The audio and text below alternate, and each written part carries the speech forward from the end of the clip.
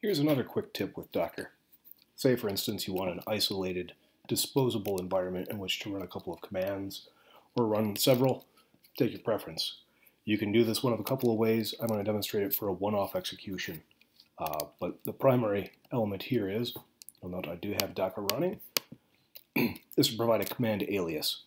So I'm going to alias a command called docker run.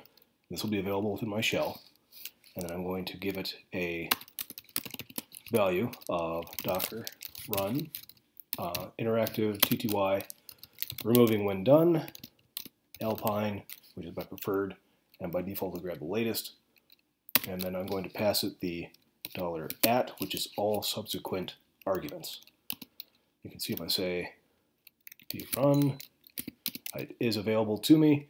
And I could say uh, echo a bash uh, commando, something like so simple as hello world, and this is executing entirely within a very temporary Docker container.